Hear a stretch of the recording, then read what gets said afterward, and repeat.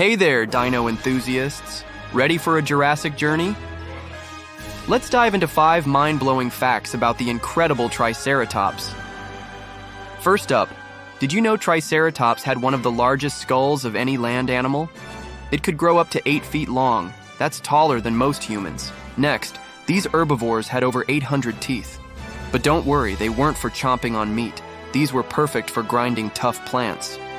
Third, Triceratops might have been social creatures. Fossil evidence suggests they lived in herds, possibly for protection against predators like T Rex. Fourth, their famous frill wasn't just for show. Scientists believe it may have helped regulate body temperature or attract mates. Lastly, Triceratops lived right up until the end of the dinosaur era. They were one of the last dinosaur species to roam the Earth before the mass extinction event. Wasn't that a thrilling Triceratops tour?